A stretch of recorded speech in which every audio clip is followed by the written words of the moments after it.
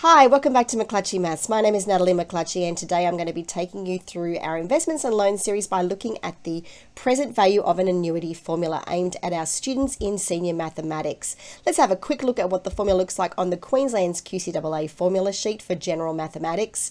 A equals M whole lot of stuff going on in brackets and we've got the letter I, we've got the letter N, and we've got some negative powers. Looks a little bit scary, but not so much so. Let's look at what those variables mean.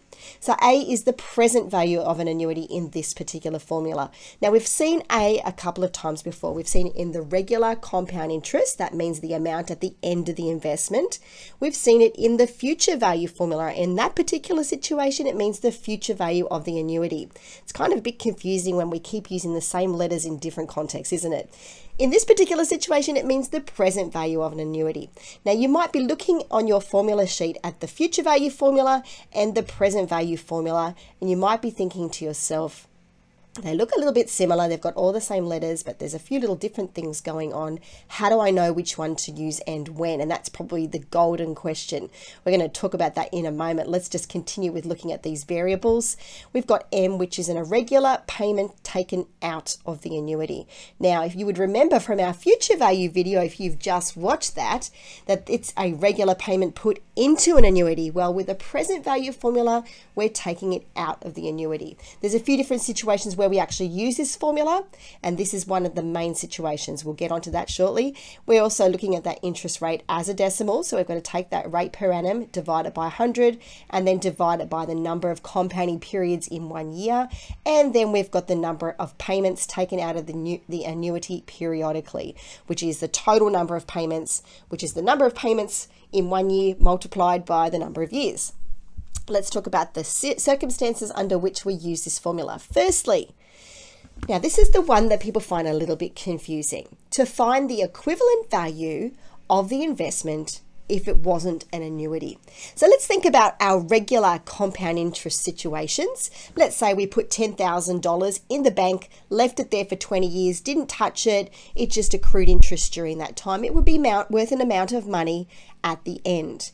Well, that's a useful thing to know in the case of an annuity, though, we may not have that $10,000 to put into the bank and leave it there for ages. We might only be able to put in a little bit of amount of money every week or every month or every quarter for a number of years.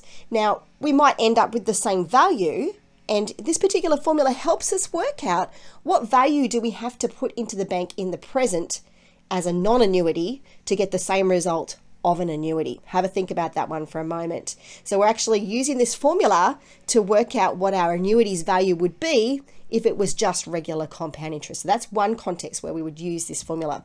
The second context is when we're looking at reducing balance loans such as mortgages.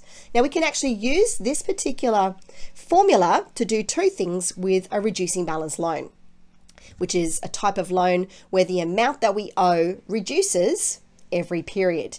Now we could use this to find out what repayments we need to make to the bank in order to get our um, loan down to a certain value after a certain number of years or for example paid off in full. Um, we could also use this formula if we had a repayment, we had a certain number of years to work out how much we're going to be owing after a certain period of time. So that's a really useful way of using this particular formula. So reducing balance loans is our second context.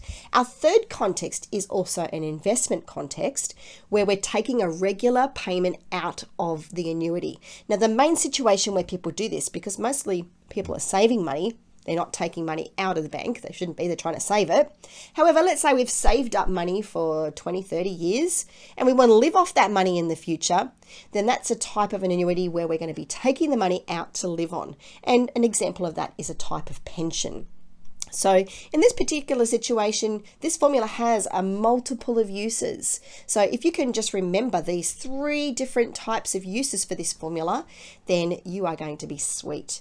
Now, sometimes, and I've noticed this in the last few external exams for Queensland, they actually ask you to use the present formula present value formula. They give you all of the variables and you just have to work with it. I've seen that on paper one a couple of times now. It's very nice. They've told you is the present value formula. However, you might be wondering, how do I remember which one to use? because you've got them both side by side and no one tells you which one's the future value, which one's the present value. Now, a good way to remember it future value, you've got a positive power. You're putting money into the investment, saving for a positive future. That's one way I like to remember it. When you're taking money out, um, you're going to be actually reducing the value of that investment. So, taking money out, negative power. So, that's a different way that I use to remember it putting money in, positive, taking money out, negative.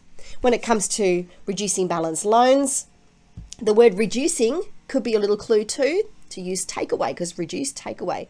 So that's how I remember how to use which formula. Okay, let's get into some worked examples. I'm going to show you one example using each context. Our first one is a simple familiar type of question.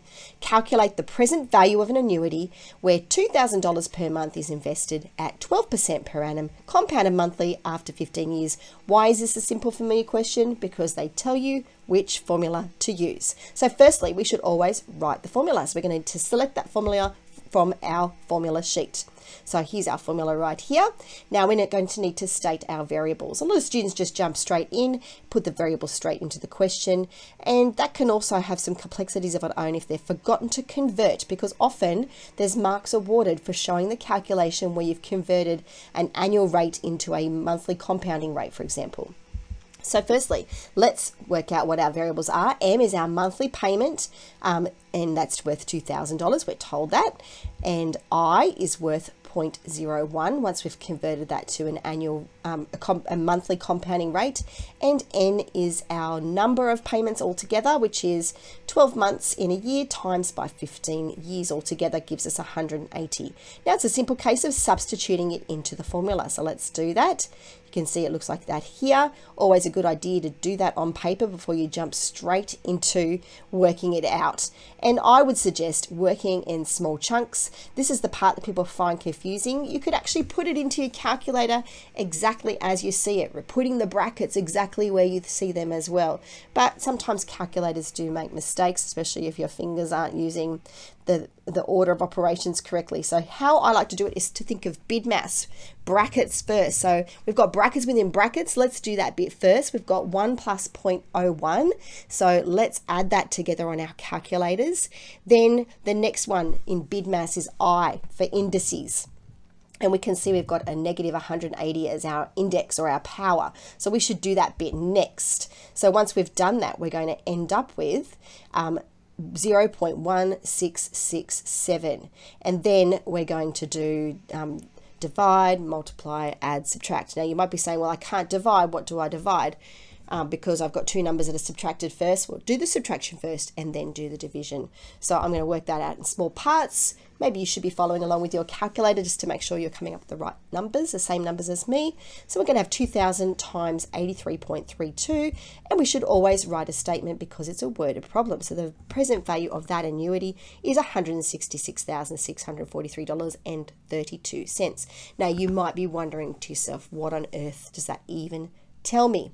Well, what it actually tells you is this. If you were to invest $166,643.32 for 15 years at 12% per annum, then and it was compounded monthly, you will end up in the same place if you just put it put that amount of money in the bank and left it there, you'll end up in the same place as if you did the same thing but at $2,000 a month. Because if you do $2,000 a month, multiply that by 12, multiply that by 15, and then work out what the interest is on that, you're going to end up in the exact same place as investing this large amount of money.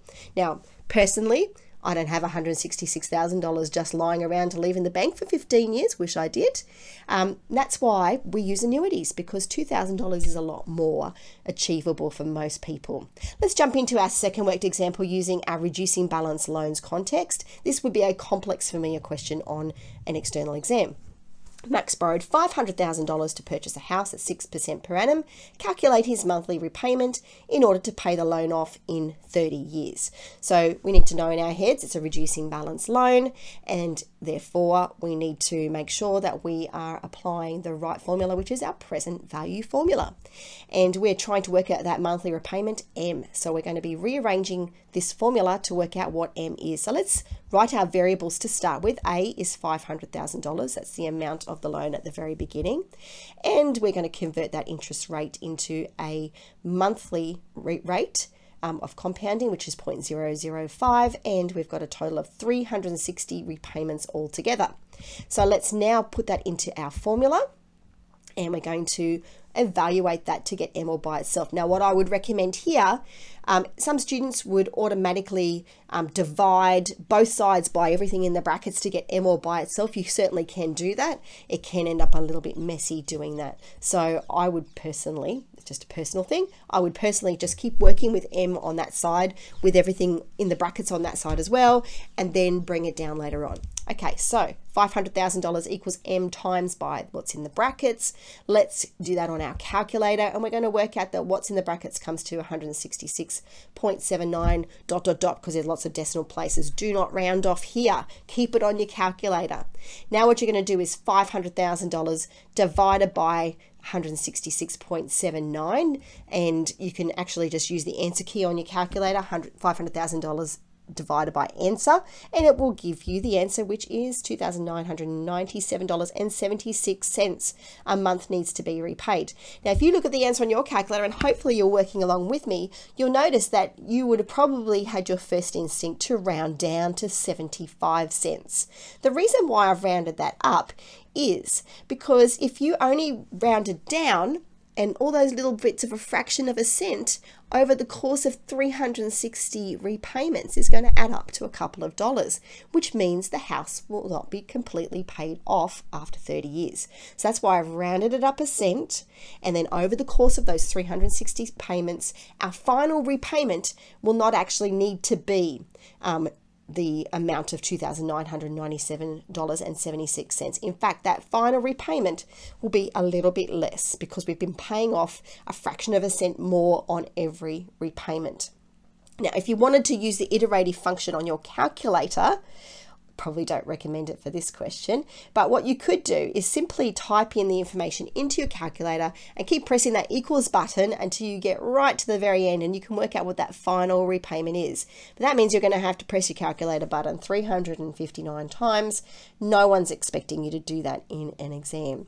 So that would not be a fair question for this particular situation. Okay, final example now complex question as well. Emily's saving for retirement and plans to withdraw $1,000 a month to live on. She's going to invest in a pension at a rate of 3% per annum compounding monthly, and she wants it to last for 20 years. How much does she need to invest in the pension? Okay, so once again, because she's withdrawing money out, we know straight away it's going to be a present value formula that we're going to be using. And we're going to write our formula again and state our variables again. So we've got M is our, not a repayment this time, it's our withdrawal, our regular withdrawal, and our interest rate converted to a rate per um, compounding period is 0.0025 and we've got 20 years times by 12 months 240 payments altogether. Okay, let's substitute that into the formula. Looks a little bit unwieldy, but we'll be able to work with that. Let's narrow that down a little bit on our calculator. Work with me here and you're going to work out that it's about $180.31 with a whole lot of decimal places at the end that we need to multiply by a thousand. So what she needs to live on that pension for 20 years is $180,000, 310 and 91. Now, obviously the mechanism of this particular pension over time is because it's going to last for 20 years what that means is that over time that pension is actually reducing its value so it's going to add excuse me, it's going to add a little bit in interest each month and then she's going to pull a thousand dollars out. So the interest that it's earning is not quite covering what she's spending to live on. So in this situation, um, she's hoping that it will last the rest of her life, and then perhaps after that she may be able to withdraw a government pension. But that's a decision between Emily and her financial planner. Well, I hope you have found this helpful today. Don't forget to write that statement at the end because it's a worded problem. And if you did find it helpful, why not tell us? You could either tell somebody, tell us in the comments, send us an email, let us know how much it's helped you. Like and subscribe to the channel and follow us on social media. We're on Facebook and Instagram. If you have any questions at all, if you had difficulty with something that you saw in the video today, or perhaps it didn't work on your calculator, the best place to let us know is on email and we can help sort that through with you. McClatcheyMaths at yahoo.com is how you reach us. Well, thank you so much to our returning viewers and all of our new viewers. All the best for your external exams if you're sitting those shortly. I'm Natalie McClatchey and you've been watching McClatchey Maths. Have a wonderful day.